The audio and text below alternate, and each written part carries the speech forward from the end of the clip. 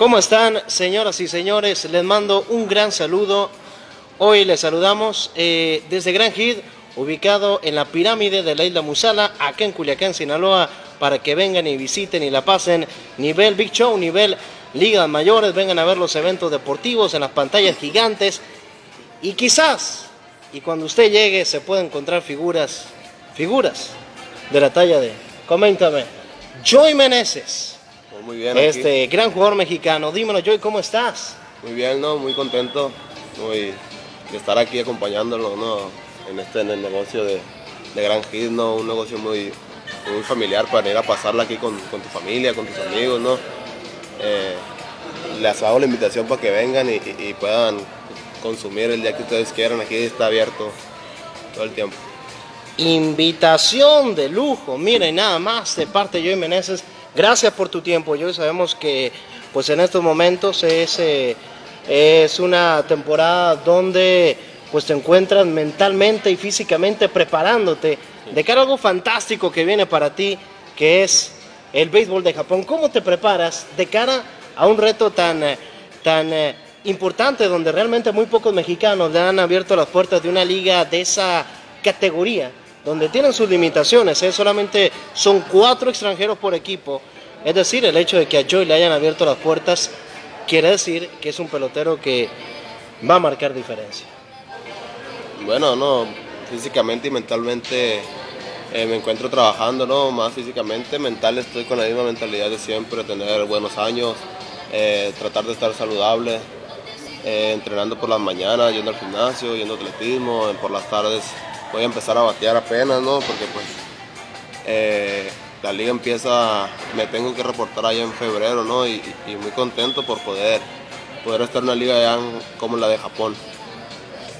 La Liga de Japón te abre las puertas después de una temporada increíble. En AAA, en la Liga Internacional, con los Iron Picks eh, de sucursal de los Phillies de Filadelfia. ¿Cómo evolucionó tanto Joey Meneses? Un año atrás, Joey tuvo una temporada eh, con altibajos en la Liga del Pacífico. Postemporada de 5 estrellas, temporada regular en AAA de 5 estrellas. Háblanos de esa notable evolución, Joey. Bueno, no, siento que cambié un poquito el chip, ¿no? Mi mentalidad cuando estaba en la temporada aquí.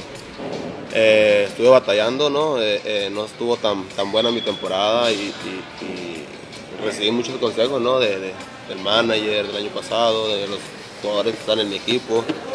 Eh, y, de repente todo cambió, ¿no? Fue de una como que cambió todo el chip y, todas las cosas negativas que estaban pasando se cambiaron a positivas y traté de mantener ese, esa mentalidad todos los playoffs y, dije que así iba a ser toda la temporada en Estados Unidos y creo que esa fue la diferencia que mantuve, ¿no? Que cambió todo de una y que me mantuve con la misma mentalidad y, creo que ese fue el ajuste que me llevó a esa temporada.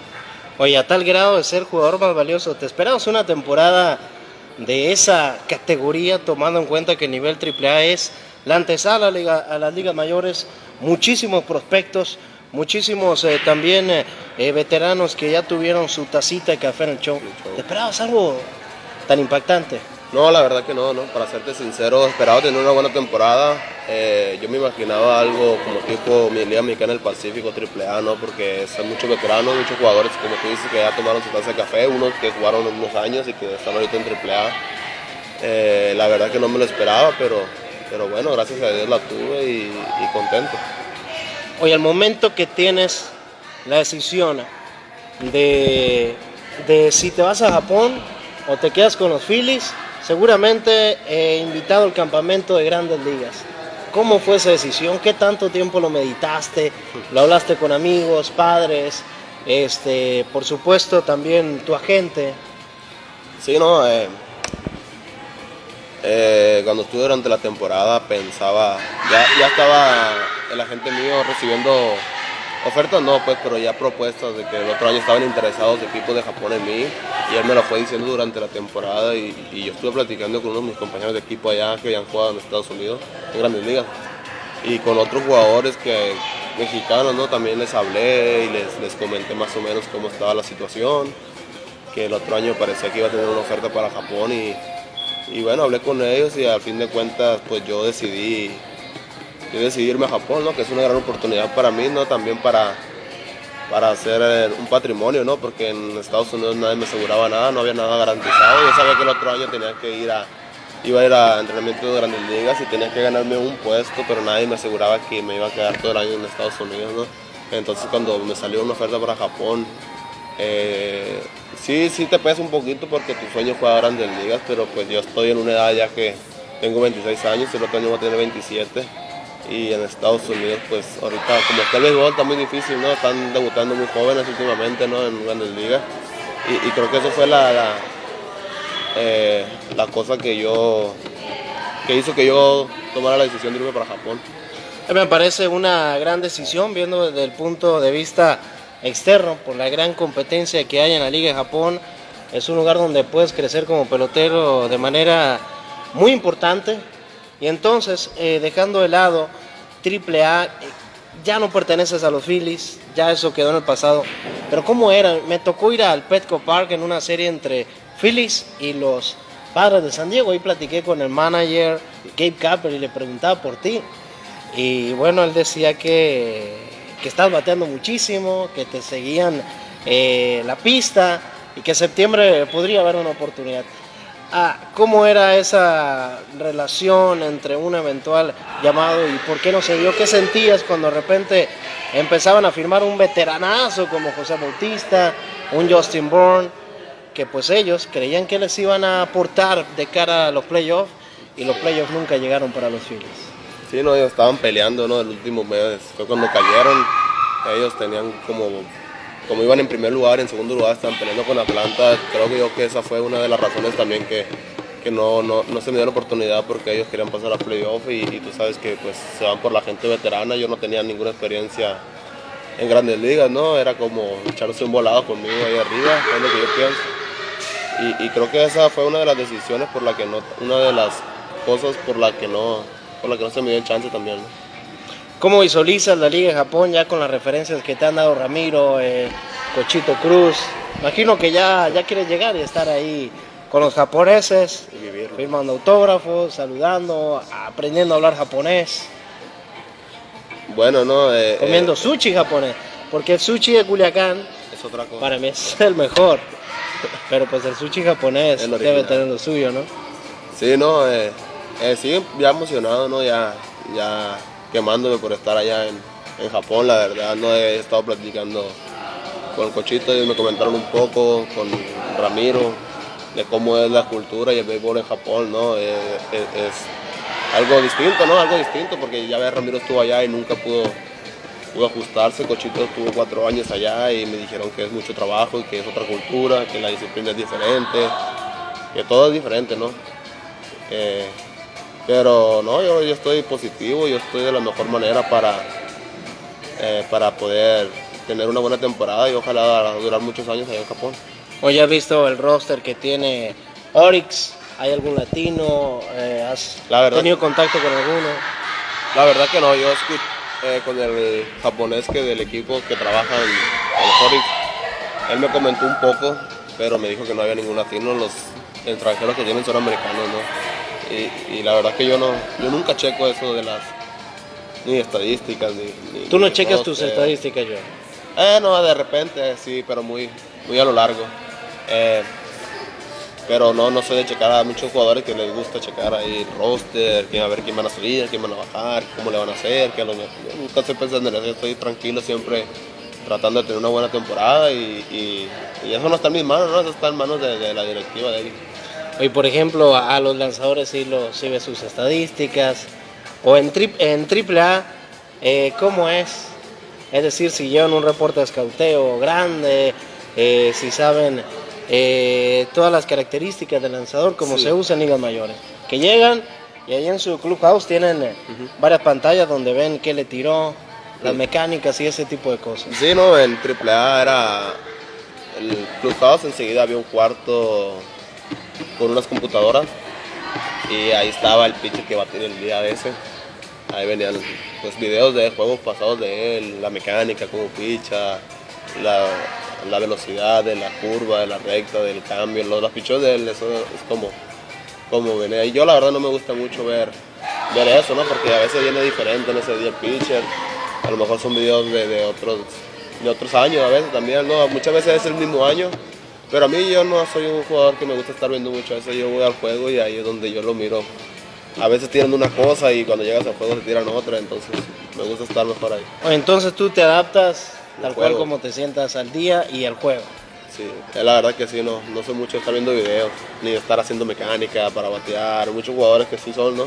Yo no soy así, de, de ese tipo de jugadores no, no, no. Porque yo cuando me meto cosas en la cabeza soy más difícil de sacármela, de- no me gusta estar pensando mucho, me gusta jugar más así, más libre, más Libre. como yo, sí. Oye, eh, dicen que tu mecánica es muy parecida a la de Alex Rodríguez, ¿es, es cierto eso? ¿O tú lo has visto? Pues dicen, ¿no? Algunos jugadores que dicen que sí. ¿Tú Un qué opinas? Si, Pues, si lo consideras. Pues más o menos, ¿no? Las cosas que levanto el pie, el Laker cuando hago, cuando bateo, pero pues ojalá, ojalá fuera como Ale Rodríguez. ¿no? Saludos al tremendísimo A-Rod. Oye, pero bueno, esta nueva etapa que se viene para ti eh, en el béisbol de Japón, los Búfalos de Orix, eh, otro mexicano en Orix. El último había sido Gustavo Karim García, quien por cierto eh, será inmortalizado por los Yaquis de Ciudad Obregón, entronizado al Salón de la Fama interno que tiene la escuadra de la tribu. De verdad, te deseamos todo el éxito del mundo. Sabemos que lo vas a tener, Joe. Joe, eh, eres un eh, tremendo pelotero. Tu evolución ha sido magnífica. Has pasado todos los niveles eh, de, de ligas mayores, todos los niveles.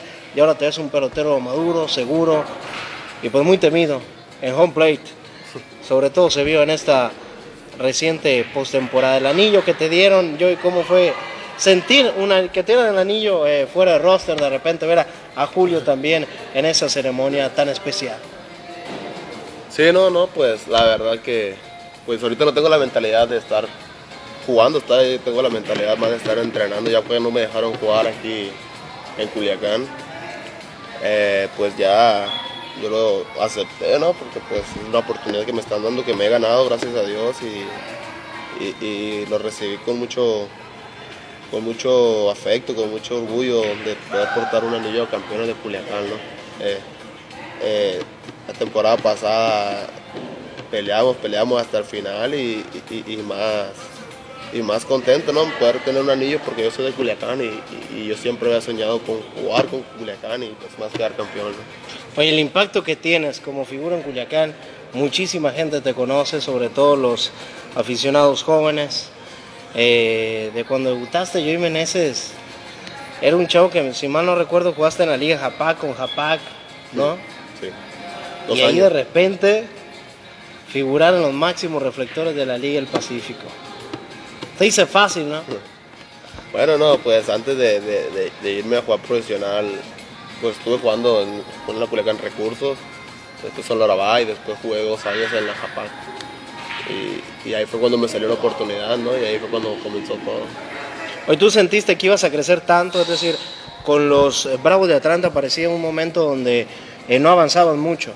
Eh, no, la, pues la verdad es que uno nunca piensa eso, ¿no? Nunca. Uno siempre es el dueño de una juega grandes ligas, pero pues uno no sabe hasta dónde vaya. Ver peloteros tan buenos a veces cuando tú estás ahí, que no llegan, que tienen temporadas malas, que se retiran, que, que están a veces de la mente como débil, que no, sal- no pueden salir de un slump. Eh, gracias a Dios mí no, nunca, nunca me pasó eso. Tuve mis temporadas malas en Estados Unidos con los Bravos y, y, y- pero nunca bajé la cabeza, ¿no? Siempre seguí peleando, siempre seguí entrenando, siempre estaba preguntando. Ahí con los jugadores, ¿no? Tratando de, de aprender, tratando de, de- de- de evolucionar, ¿no? Como jugador y, y así fue como, como he llegado hasta, hasta, hasta donde estoy, ¿no? Oye, eso que comentas son tremendas anécdotas, sobre todo para aquellos jóvenes que quieran desarrollarse en el béisbol. Tú comentas que siempre preguntabas, siempre tratabas de, de aprender. Eh, y bueno, naturalmente siempre has trabajado en lo físico, en, eh, en, eh, en el terreno de juego, y eso te ha hecho un pelotero de, de cinco estrellas. Muchas gracias, Joy, y Gracias felicidades y todo el éxito allá en la Liga de Japón. Qué chulada, con los Búfalos de Orix. Oris Búfalos. Gracias. Venga, gracias, Joy. Saludos. Saludos.